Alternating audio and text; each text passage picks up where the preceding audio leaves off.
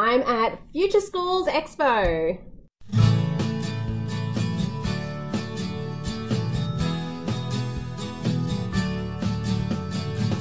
Okay guys, heads up, the sound and video quality isn't quite the same today.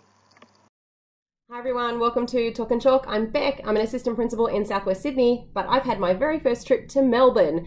They don't like that there's fog here, so my flight was cancelled, then delayed, as was uh, one of my friends coming in as well. So we had to try and time up how to get from the airport to the actual expo. So I was late and I missed the keynote and the first part of the plenary, but that's okay. The rest of the day was really, really good. Today is day two.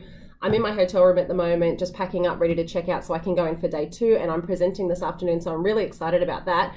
That also means that I'm pretty sure this weekend I'm just going to be so tired and I'm going to want to spend time with my kids. So I thought I'll do a video while I'm here and I have some time, and I'm going to touch base with you guys about one of the round tables that I went to. So, one of the sessions was a 90 minute session broken up into 30 minute slots. And there were like, I don't know, 20 something tables that you could go to where each table was set up with a different presentation discussion um, on different topics. So, the first one I went to was about using uh, video, using film, radio, social media to enhance communication with our students. And it was, oh gosh, correct me if I'm wrong, Glenwood High School, who um, had set up this amazing system of kids um, uh, they're controlling the social media for the school, and there's all sorts of guidelines and restrictions and everything around that, and rules, and lots of development for the kids to understand how that works. And they set up this news station in their school with like a green screen, and the kids would do the announcements because they realized, you know, people weren't paying attention to communication. And the kids had real ownership over that. They've even got uniforms when there's like a school event for cameras and things like that. They know which students are do not publish students, so there's no risk there. Um, they live stream things on their Facebook page for the school, and just the results were really phenomenal. It's something I've always wanted to do I mean, you guys know my interest in social media and video and everything. Uh, I've wanted to do it, but in a primary context, I didn't know if it would work. So, seeing it in a secondary context and seeing how successful it was, I've taken away some really good ideas that I think I can put into practice in my particular setting. Not necessarily copying it because, you know, it's secondary, it's different. I think there'd need to be a bit more teacher input into something like this for primary, but there's definitely ideas there that I can take away. I went to another one called. Uh, nurture through nature which was all about enhancing student well-being by you know outdoor learning and environmental learning and being with nature. And it's exactly what i'm working towards in my current context. We're building on our school farm and our gardens and things like that. So that really worked well. And there was one particular teacher there from new zealand who talked about how their school camp is directly tied in with ancestral um, uh, significant places, and that's where they go for their school camp. And I'm like, I never even thought of something like that, specifically tying it with history. For me, when I think of camp, I automatically go to PDHPE. It's active, it's sport, it's health, and all those sorts of things, and uh, interpersonal skills and relationships. I never thought of tying it in with history. So that's now something I'm going to have a different view of when I go back to school and I start thinking of those um, different events that we can organize for our kids and generally being outdoors and, you know, embracing our environment because. Um, as wonderful it is to be at an expo like this, it's a lot of robotics and coding and things like that, and none of it sort of demonstrates how we can link with nature or being outside and embracing that. And we know kids respond to being outside. I mean, lunchtime, hello. so that's something definitely I'm taking away from that. But the one I want to talk to you guys about was the table, round table, uh, where uh, Dan Haesler was at, and I am so sorry I cannot, I can't remember the name of the gentleman who was helping pose all these questions and running everything. Okay, I'm going to interrupt here because I realised it was Tim Perkins he does wonderful stuff. This is him, and he works together with Dan. So, for those of you who don't know, this is Dan Haesler. This is him on Twitter. I couldn't find Tim on Twitter anywhere, but they work together at Cut Through HQ. So you can see that's their this is their Twitter page now, and you can find them on Facebook, and they have a website where you can find out heaps of information. They do wonderful things. So I'm so t- sorry, Tim, because you're definitely part of this. And just to give you an idea, these are some of the companies that they have worked with in the past and what they shared was amazing. Um, this was all around, I guess, thinking about how you're going to tackle uh, the change that you want to create in your school, that positive change you want to create. Now, I'm going to, you won't see this, but I'm going to flip to my notes and I'm hoping that won't interrupt the video. So, the first question that they posed to us was What is currently happening for you now at school? And he described that as what are your 3 a.m. thoughts, your shower thoughts, your car thoughts, you know, those things that are at the forefront of your mind right now that's um, that's taking up you know your thoughts and your planning. And just to put those ideas down. And we didn't have to do this in the circle. This was just writing notes to ourselves or typing to yourself. So you know everyone put that down and then he asked us, um, What's your biggest professional challenge at the moment? The actual challenge you are facing right now. Professional challenge. So, not those things at home that are impacting what's happening with you, because you know, you might have your kids on your mind or your partner on your mind or that sort of a thing. Professional challenge. And then we wrote all of our ideas down. I'm just flipping back to make sure I'm, it says I'm still recording. Okay, I'll go back to my notes.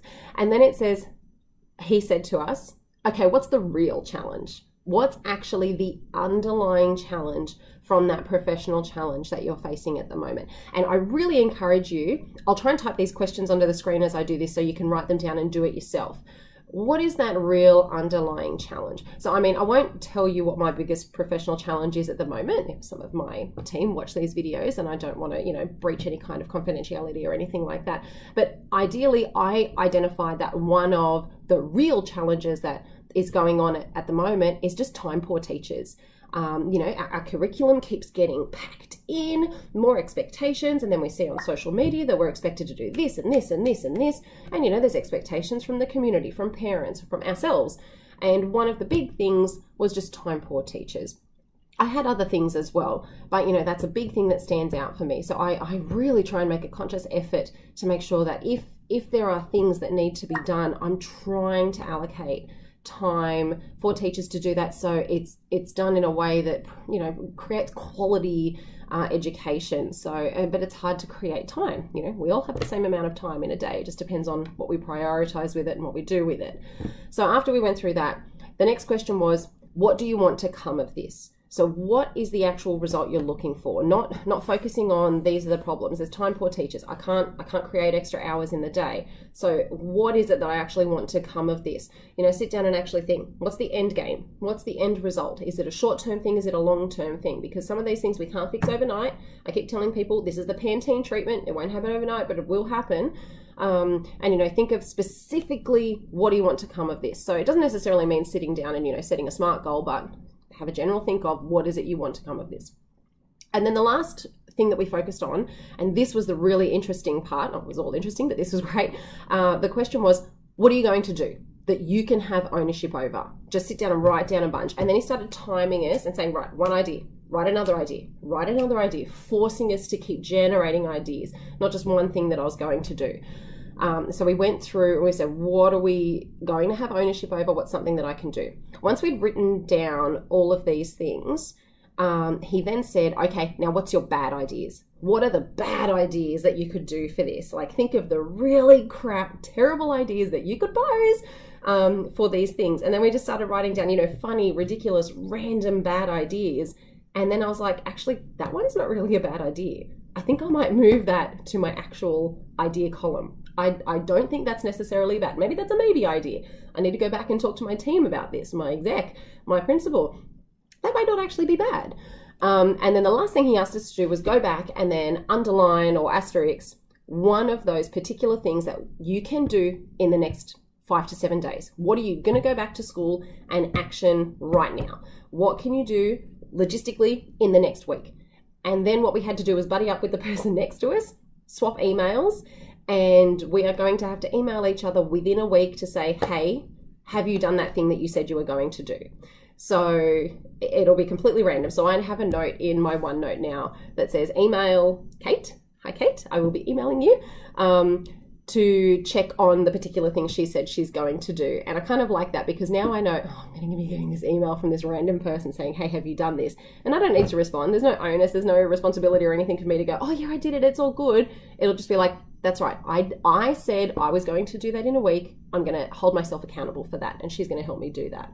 So I would really encourage you, if, if you've got a, a team of people you're working with, or if you just want to try that yourself, write those questions down for yourself and have a go at it and really do the thing at the end with the bad ideas and write down the things that you think are terrible because you might just come up with a gem in there or if you share it with your team they might just go actually I thought of that too and I don't think it's a bad idea. Maybe we should try it and see what happens. I mean even if you share it with your whole staff this I thought this was a bad idea. Let's try it. If you own the fact that I think it might be a bad idea to do but you know you want to give it a go give it a go and see what happens.